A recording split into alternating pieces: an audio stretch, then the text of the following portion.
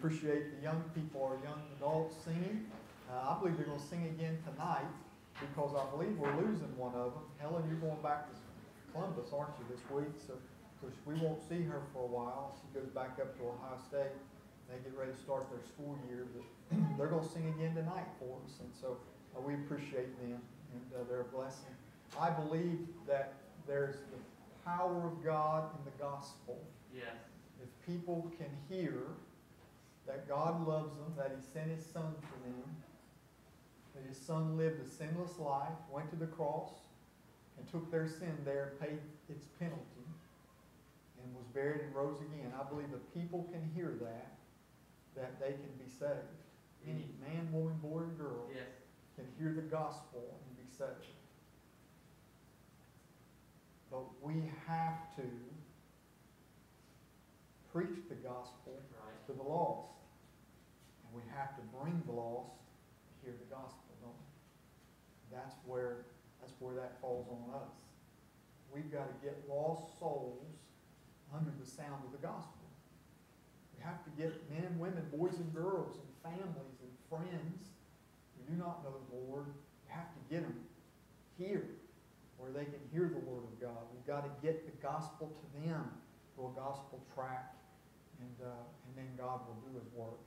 But, uh, but that's where we are. Just one more. Uh, one more. So uh, you pray about that. We're thankful for it. But I want to preach this morning on this subject, the value of a soul.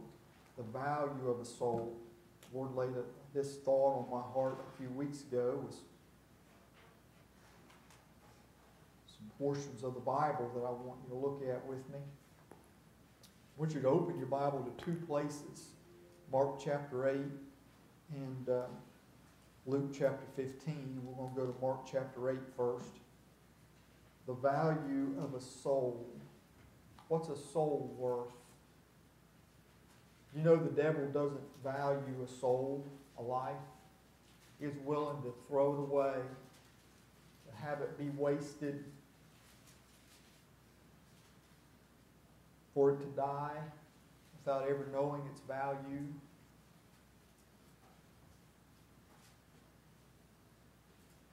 What's the value of a soul? Mark chapter 8, I'm going to start reading verse 34. And I'm going to read down to verse 38, and then we'll look in Luke chapter 15 also. Mark chapter 8, the Lord is teaching, speaking here. Verse 34 When he had called the people unto him with his disciples also, he said unto them, Whosoever will come after me, let him deny himself and take up his cross and follow me. For whosoever will save his life shall lose it. But whosoever shall lose his life for my sake and the gospel's, the same shall save it. Now, that's not a riddle, even though it sounds a little funny. But what the Lord is trying to teach believers like you and I, if you're here today and you know the Lord Jesus as your Savior, is you got a choice to make. what will you do with your life? Are you going to hold on to it? And are you going to make your decisions? Are you going to fulfill your desires? Are you going to make your own plans about what you think is best and follow through on them? Are you going to keep control of your life? Or are you going to give that to the Lord? That's the choice we make. If we choose to keep it, we'll lose the potential impact that our lives could make in this world and eternity if we would have given them to the Lord. Does that make sense? If we want to hold on to and live selfish lives, we're going to lose the potential that is in the Lord, that He would take our lives and use them to glorify His name and impact eternity. If we choose to let Him have control, some people would say, you're losing your life. You're throwing it away. You're giving it away. No, I'm investing it. And the Lord takes it, and He does more with it that's going to matter in eternity than I ever could have. I might lose as the world views it, losing, losing that control, losing those plans, those uh, things that might have pleased me but I'm going to gain what God will do with my life, and that's what's going to glorify Him and make a difference. That's what the Lord's saying to the disciples here. You have a choice to make. For whosoever shall save his life, you're going to lose it. You hold on to it, you want to use it selfishly, you're going to lose how God could have used it. But whosoever will lose his life for my sake, you get it, you, you put it in the Lord's hands, and for the sake of the gospel and you're going to save it from being wasted. You'll save it from being wasted. For what shall it profit a man if he shall gain the whole world and lose his own soul? Or what shall a man give in exchange for his soul? Whosoever therefore shall be ashamed of me and my words in this adulterous and sinful generation, him also shall the Son of Man be ashamed when he cometh in the glory of his Father with the holy angels. I want you to, I want you to consider today the value of a soul.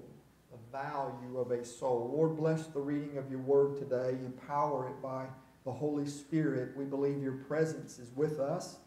Lord, if we're born again believers, you're in us. And Lord, we thank you for your word. God, these words that we've read and that we will look at, God, they came from your heart. They came from your mind. They express to us your will and your pleasure. And so, God, may we respond to you, to your word, in the way that pleases you. Lord, speak to us about the value of a soul, ours, others. Lord, there's people people all around us and in our families that need to know these truths. And so, Lord, if, if there are folks here, God, that could profit from this truth, Lord, then it's up to us to help share it with them. Take these truths and share them with others. And so, Lord, bless your word today. We're praying someone that maybe is lost today or uncertain about salvation. Or maybe someone, Lord, who feels that just trying to do right and come to church and, Lord, just uh, try to, uh, to, to do those things that, uh, that, Lord, they feel like are enough. God, may someone come to the end of that and realize that they must be born again.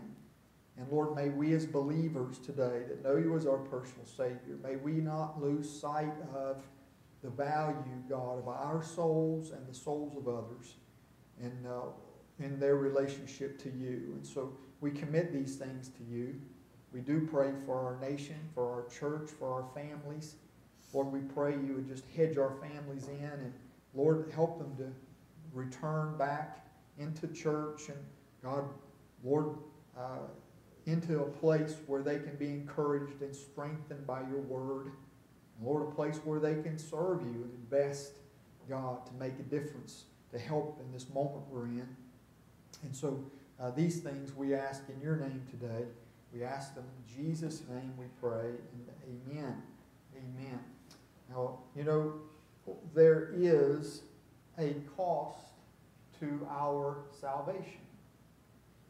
There is a cost to our salvation. And I think you'll understand my approach to that. You know, we often hear the expression, nothing in life is free, don't we? nothing in life is free. The Bible tells us the salvation of our eternal soul is a gift. It's a gift, the gift of God. Ephesians 2 8, for by grace are you saved through faith. And that, not of yourselves, is a gift of God, not of works, lest any man should boast. I believe this. I believe what the Bible says, that there is nothing that I could do, there's nothing I could do that would earn salvation. There's nothing I could do that would merit God's forgiveness of me in and of myself. There is nothing, nothing at all, no work I could do that would be adequate to obtain salvation in myself. No way, nothing I could give that would be equal to the price. No, no way I could pay for the forgiveness of my sin and my salvation. I, I, I, I believe that. There's nothing, nothing. Salvation is a gift of God. It's given by His grace. By grace are you saved. By grace, because God gives what we cannot earn, what we do not deserve. God gives that. He gives that. It's a gift. Given by grace. It's experienced by faith. Faith in the finished work of Jesus Christ. Faith in His finished work. I also believe that my sin, though, has a debt that had to be paid. There's a payment that must be made for my sin and yours for the sin of every man. Romans 6.23 said the wages of sin is death. That's the payment, it, death. The death that's described here is beyond physical death, it's spiritual death. Spiritual death. That means a man lays down his life in this world physically, draws his last physical breath, but then his soul, which is eternal, enters eternity, and as a lost man, he enters hell where he will die forever and never, ever get dead. He's just going to keep on dying because his sin debt is so great. Even spiritual dying, a man can't ever get the debt paid even though he's going to die every moment of eternity. I was born in this world a sinner. I owed a debt, my sin. My sin debt was already outstanding when I was born into the world. Owing to God a debt for my sin that I could not pay. I could not. I could not pay. I was helpless. I was hopeless. Never was ever there going to be any way I could escape that debt or eternal torment in hell. But God has made a way for me to be saved. He's made a way for all men to be saved. He's made a way for every man, any man, to be saved from, from spiritual death and hell. God makes salvation a gift. He willingly gives salvation. He willingly gives it. He gives it to any man who will receive it. But we know that in our own lives, a gift that's given, a gift that's given had to be purchased. It, it had to have been made available through some effort, some expense, some work, some labor. I don't know about you, but when I was a kid, you don't judge me. I watched Bewitched. How many of you watched Bewitched on television? You know? She could twinkle her nose and clean the house and all that kind of thing. And that was a fun show as a kid. But I don't know any of you who can make something out of nothing. You have to buy it, you have to get it, you have to build it, you have to make it. There's got to be work, there's got to be labor, there's got to be expense. We like to say that the best gifts are those that, you know, come from the heart. Your child may have made you something out of a tissue paper box or uh, paper towel tube, you know, gave it to you. But there was still an expense, there was still an effort, there was still a labor. That gift you received was free to you, but someone paid for it, didn't it? Someone paid for it. Who paid the price for the gift of salvation? Was it you? Was it me? Was it man? Was it? We didn't pay that price.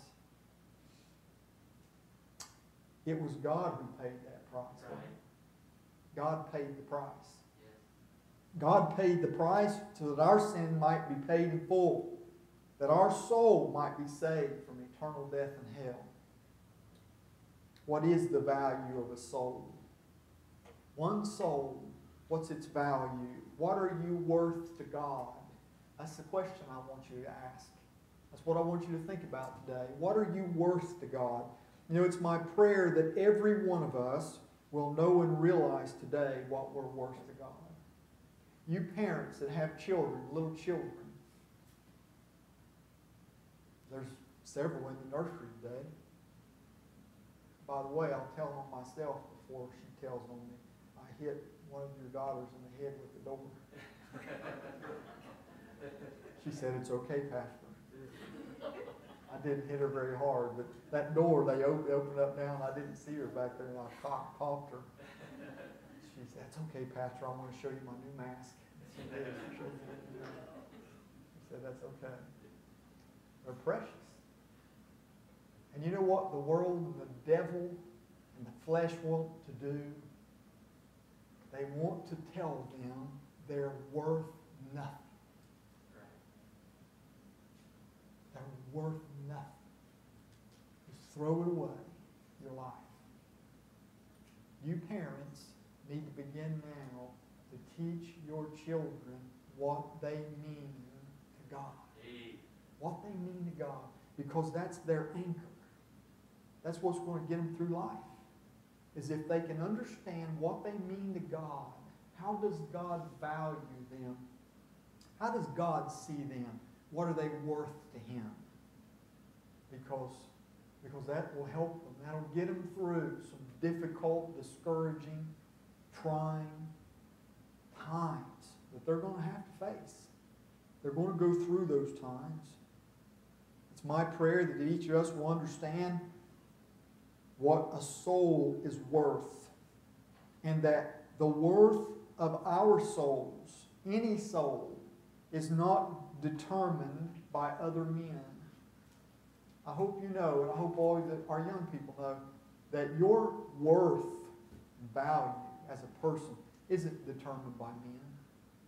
It's not determined on how they treat you, how they speak to you, how they talk to you, how they show you value or importance. It's not based on. It's not based on that. It's not determined by the circumstances and situations and experiences of life.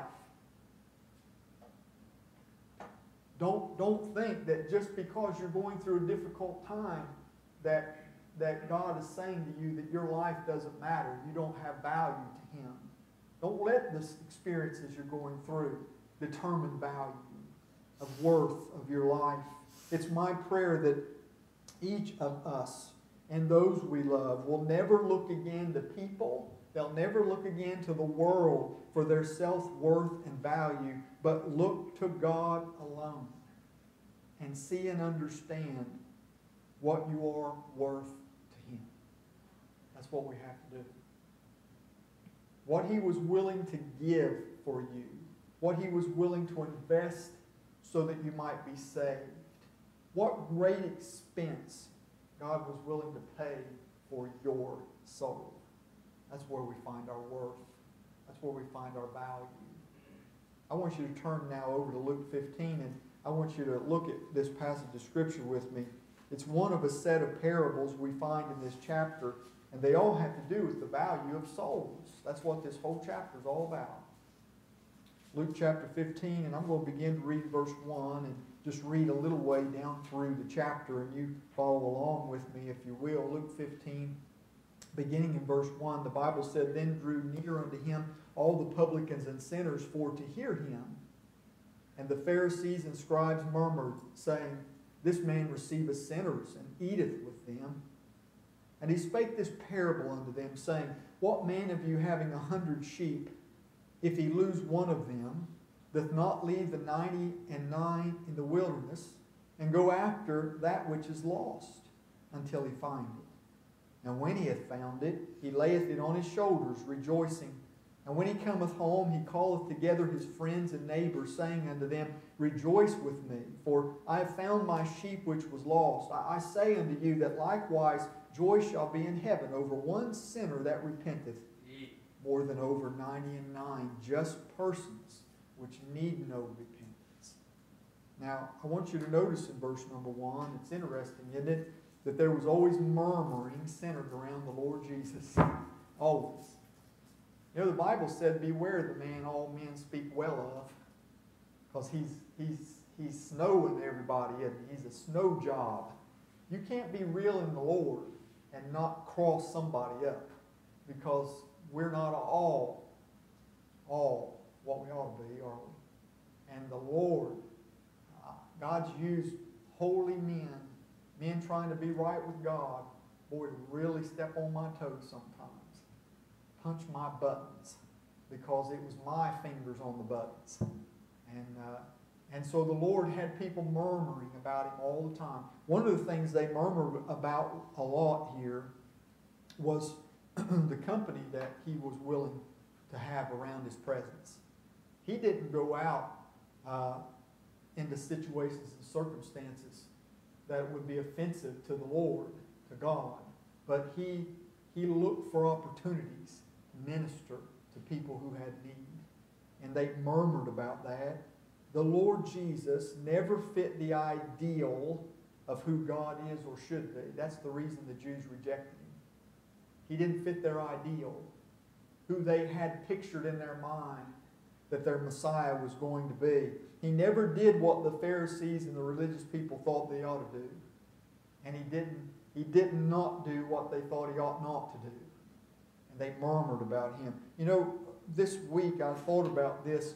We have to be so careful that we do not make an idol in our heart and mind about who God ought to be. Yeah. We're, we can be guilty of that. We can have some idea about who we think God is. I, I, I'm reading through the Bible. I try to read through it always. I'm always reading through the Bible. And in the Old Testament, in one of the study Bibles I'm using right now, I've got marked over and over again with a, a line and a little reminder to me that when I read that, that normally doesn't fit my idea of who God is. But that's God. And He is just and righteous and holy in every action that He takes, every decision that He makes whether it fits and plugs into my formula about who God is or not. And we can't forget that. We, we make out the Lord Jesus to be the person we think he ought to be. Uh, and it's careful that we don't try to make him fit some idea of our hearts and minds. Sometimes we might refuse to see him as he is if who he is conflicts with some emotion that we have or if it conflicts with some, something that convicts us. We like to dismiss that about him and feel like that can't be true. That can't be true. They murmured because the Lord Jesus could be seen with tax collectors. They hated him. Pagans, Samaritans.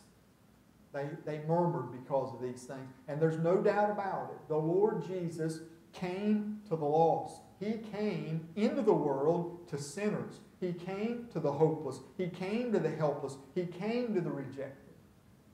It says in just a few chapters over in Luke 19, verse 10, the Son of Man has come to seek and to save that which is lost. It couldn't be more clear than that, could it? That's why he came. Seeking to save the lost. In verse number 3 of our text, the Bible said, and he spake this parable, Luke 15, he spake this parable unto them, saying, Now, the Lord shared a series of stories with them, parables, and each of these was about the value of a soul. Every soul, a single soul. I want you to see it. Notice number one, the priority of every soul. Verse 4 said, What man of you having a hundred sheep, if he lose one of them, doth not leave the ninety and nine in the wilderness and go after that which is lost until he finds it? I want you to see the priority of a soul. And remember, he's looking for a singular sheep, just one. Just one. The focus of the Lord here, the emphasis is on the effort that must be made to reach the lost. Isaiah 53, verse 6 says, All we like sheep have gone astray. We have turned every one to our own way. We are that lost sheep. We are that sheep. And I want you to see that the Lord puts the priority here. He puts the focus on going after and finding that sheep, that one lost sheep. The Lord Jesus left heaven.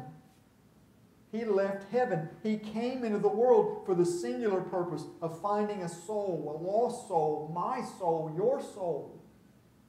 Luke chapter 14, he had spoken to the multitudes who followed him.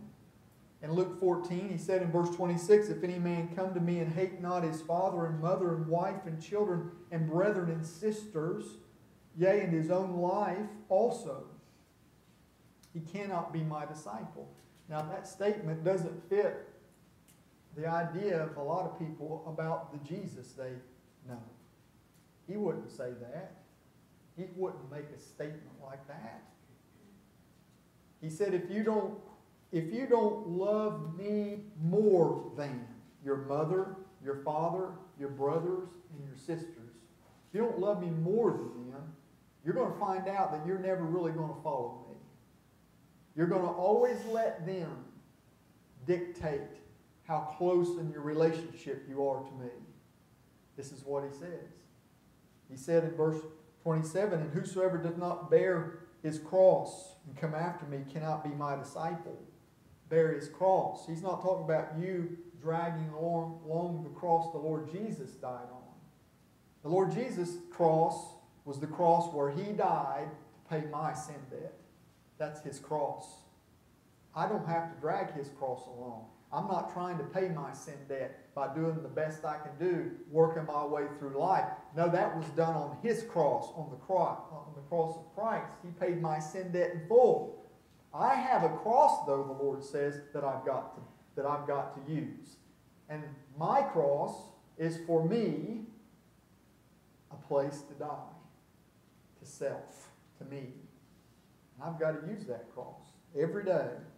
Whosoever does not bear his cross and come after me cannot be my disciple. For which of you intending to build a tower sitteth not down first and counteth the cost whether ye have sufficient to finish it? Lest haply after he have laid the foundation is not able to finish it, all that behold it begin to mock him, saying, This man began to build was not able to finish.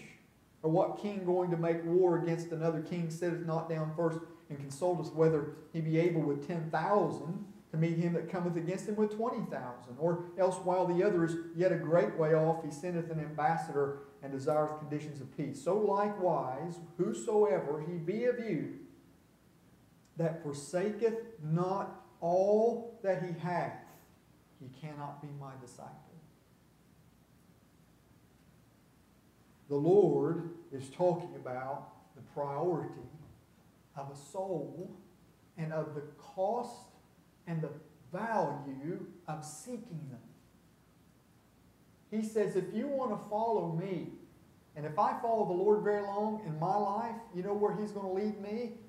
To having a heart to reach the lost.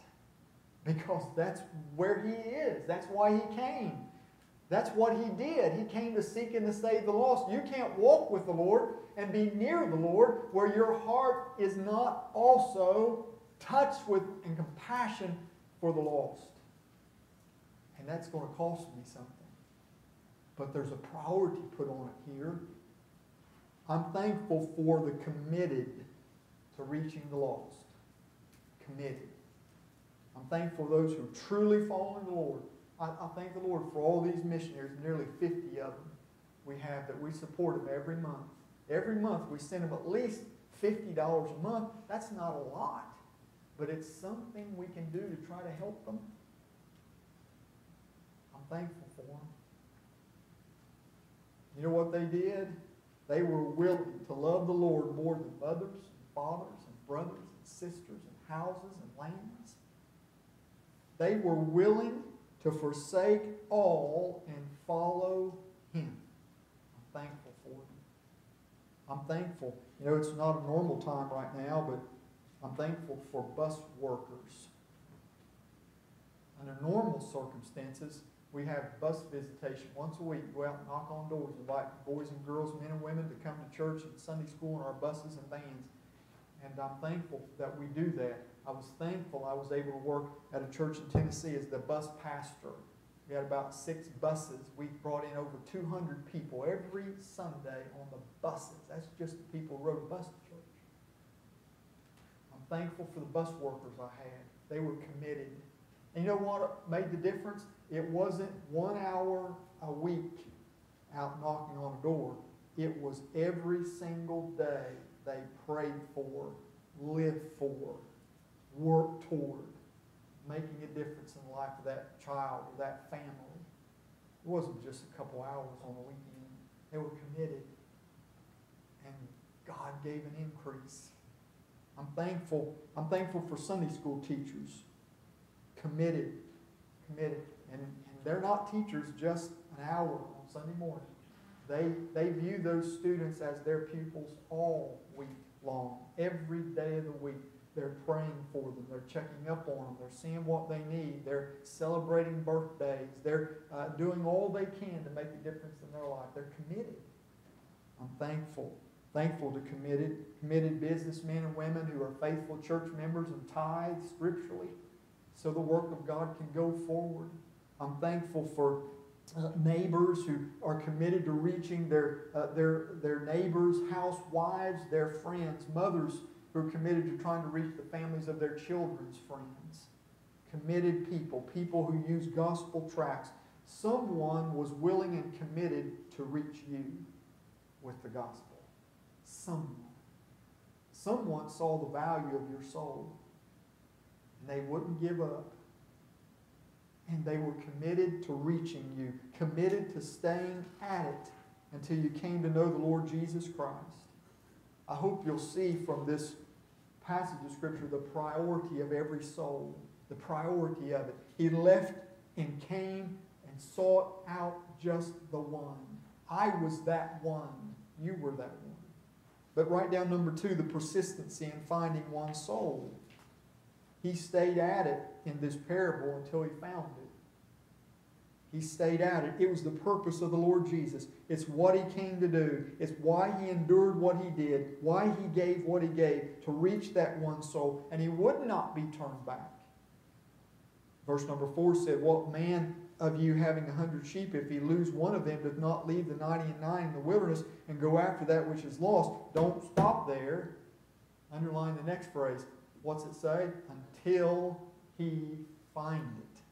You got to circle that word until, because that means there isn't any place to quit, is there? No place to give up.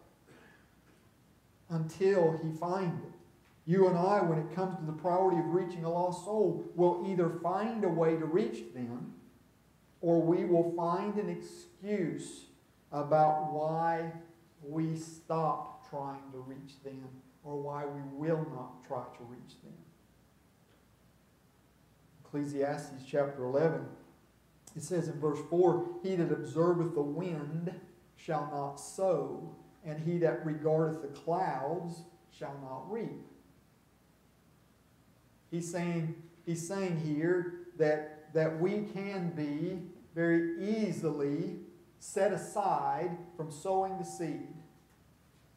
You might have somebody who, who makes fun of you for passing out a gospel tract or takes it, throws it away, says something, says something unkind to you. You know what? That might have been enough. You've never done it again since then. You might have tried to knock on a door, and invite someone to church or Sunday school, and they might have mocked or made fun of you or said something to you. I've had every four letter adjective in the book used uh, uh, just by simply inviting someone to church. And that might have been enough. You said, That's enough. I'm not going to do that anymore. He that regardeth the wind will not sow. And he that looketh at the stormy clouds, well, I just believe I'm not going to get the tractor out of the barn today. It might rain. Might rain. We're either finding a way to get it done or we're finding an excuse. One or the other. Here, verse number six, and when he cometh home, he calleth together his friends and neighbors, saying to them, Rejoice with me, for I found my sheep which is lost. And here the man invites his friends to rejoice with him. A soul has been found and saved, rescued from sin and eternal suffering and hell and death.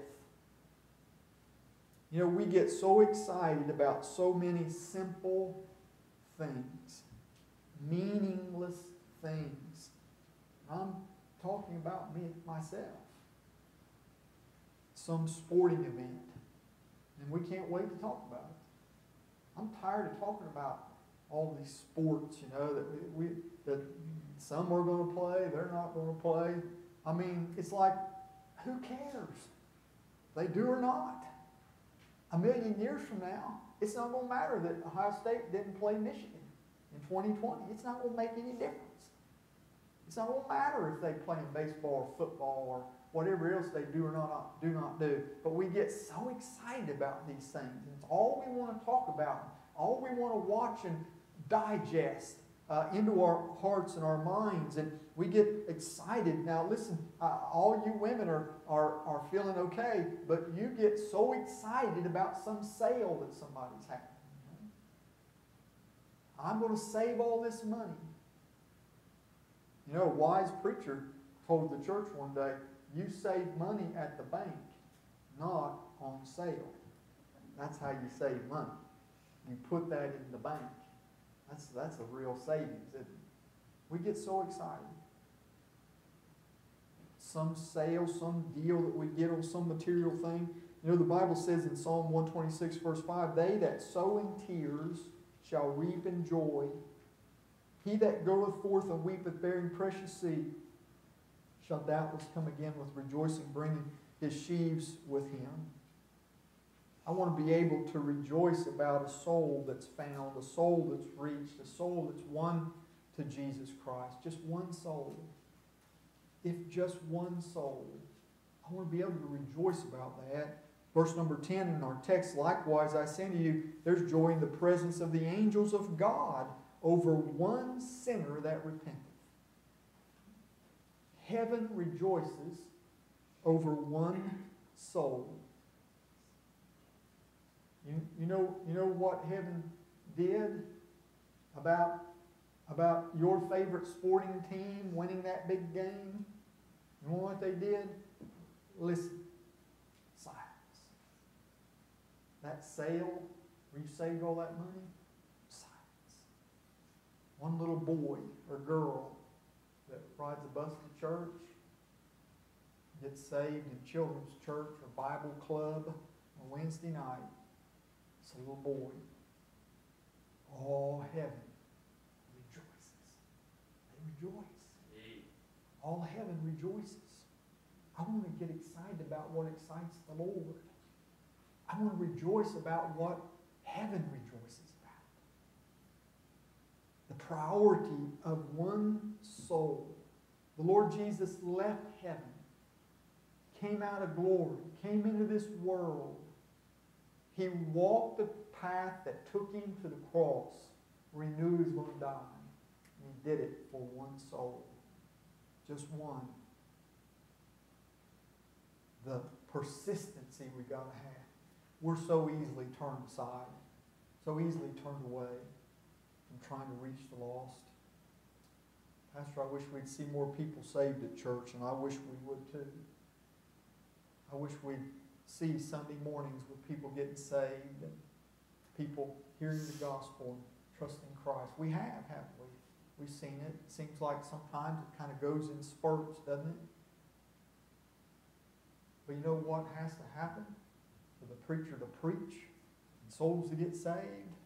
Somebody's got to get them in the door. How easily we're turned away from that and forget about that as a priority.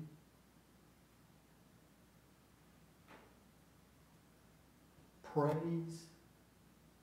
Heaven rejoices over one soul saved. Now, now what is one soul worth to God? What, what are you worth to Him? What is your soul worth to God, your life? We know that salvation is a free gift.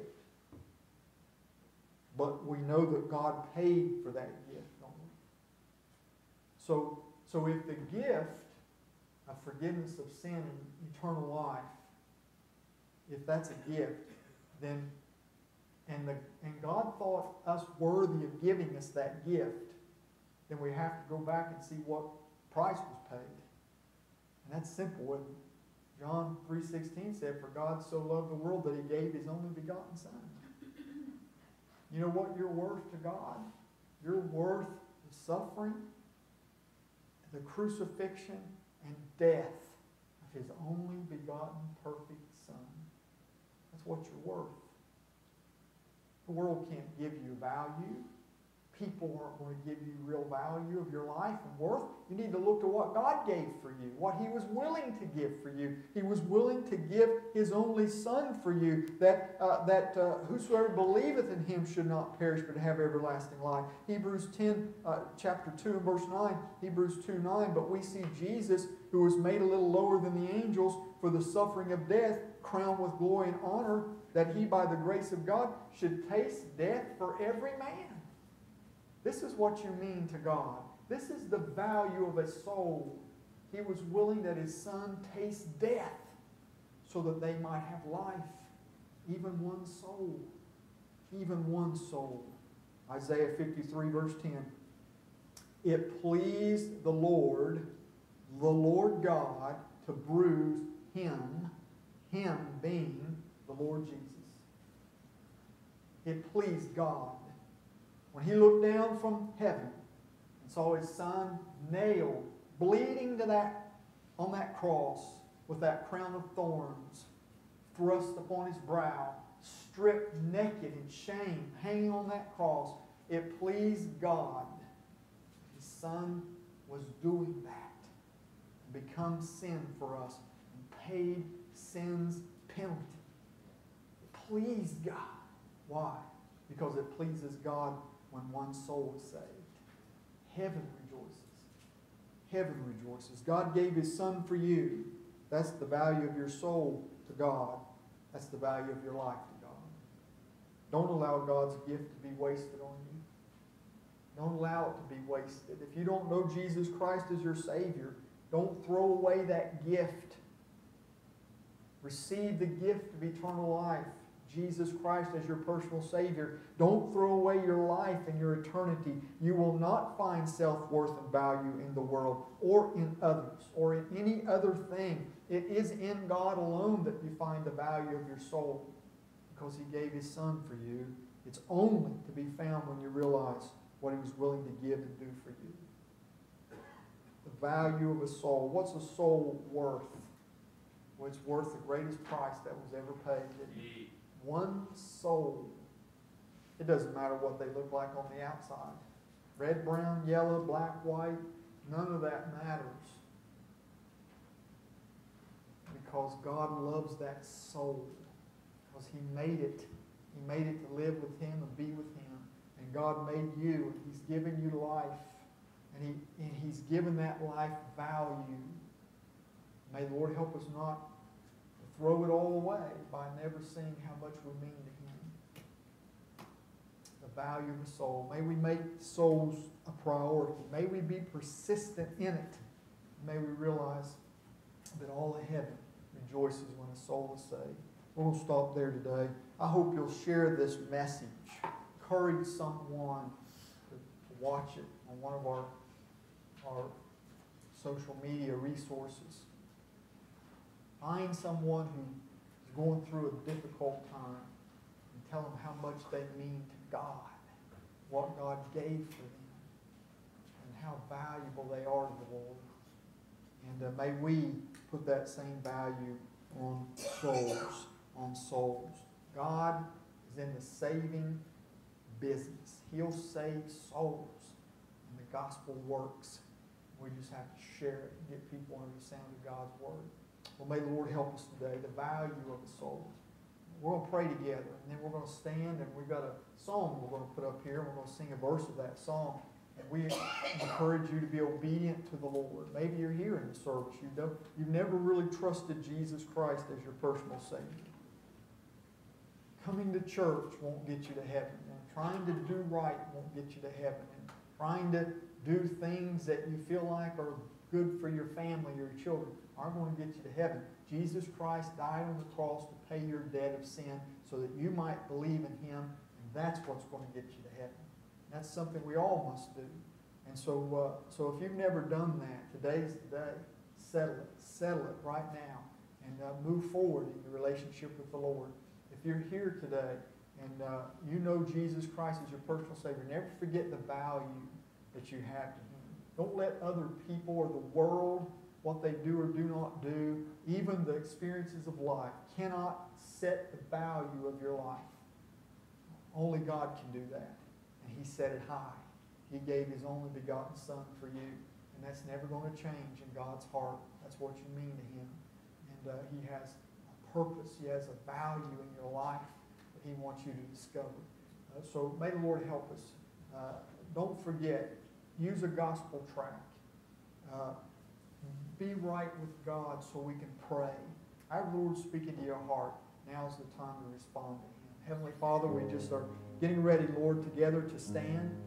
And uh, Lord, we're going to give a time where we can respond to you as the lost, responding to a Savior who loves them and gave himself for them that they might be saved.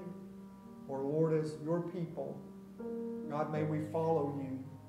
May we put our life in your hands.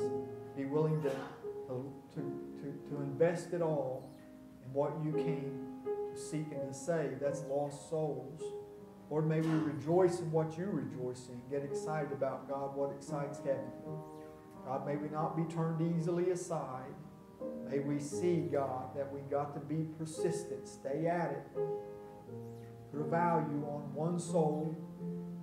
God, may we get the lost under the sound of the gospel where they can be saved. God, it's never failed. I've seen it all through 30 years of ministry. If someone just gets under the sound of the gospel for just a little while, God, they'll trust you and be saved. Help us, Lord, to get people to church, get the gospel to people. Lord, we pray that God, that you'll have your way in this moment of invitation. You do what, God, you want to do in our hearts and lives. May we all be obedient to you. We ask it in Jesus' name we pray. Amen.